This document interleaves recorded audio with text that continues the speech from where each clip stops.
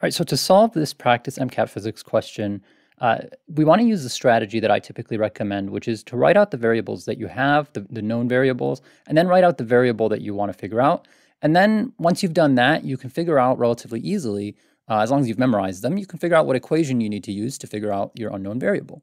So to do that here, let's see, we've got a height of 150 meters, right? So we're dropping an object from a height of 150 meters. So distance is going to be equal to 150 meters, right? When we see something like this, we can already tell we're dealing with like those uh, distance and acceleration equations.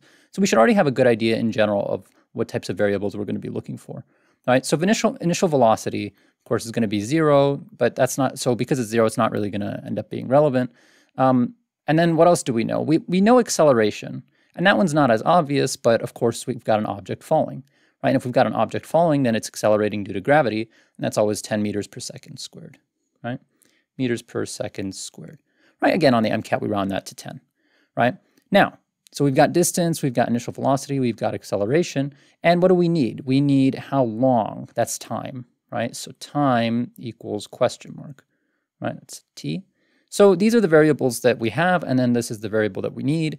And uh, so, of course, the equation that we can use for that is distance is equal to 1 half a t squared right? And then plus v initial times t.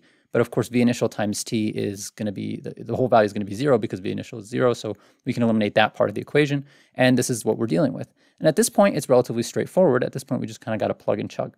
So distance, 150, is equal to 1 half 10 t squared.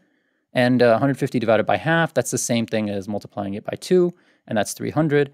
And then uh, divided by 10, so divided by 10, that is 30. So I did that in one step, and I would recommend you try and do these sorts of things in one step because it'll make you faster at uh, getting the math right, and then uh, you'll have more time for some of the harder questions on the MCAT. So now it's 30 equals t squared, and so now we got to do the square root of 30, right, to get the answer. And of course, the square root of 30 is not a clean number, it's not a clean answer, but we know that it's going to be anywhere between the square root of 25 and the square root of 36, right? So anywhere between, uh, so square root of 25 is equal to 5, and then square root of 36 is equal to 6. So between 5 and 6, right? And so the correct answer is going to be somewhere between 5 and 6.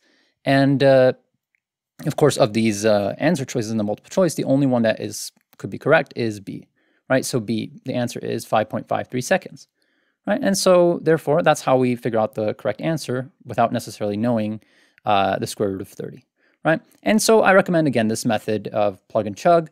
Uh, with this method, what you really have to be able to do is you have to be able to find the variables within the problem, right? And this is obviously it's fairly easy here, but on the MCAT, it's a little bit harder because MCAT's passages are longer. But at the end of the day, the process is the same. You, uh, you have a pretty good idea of what variables you might be looking for. You find the variables, then you remember the equation that you got to use, and then you plug and chug and you get the correct answer, right? So the correct answer here is B, 5.53 seconds.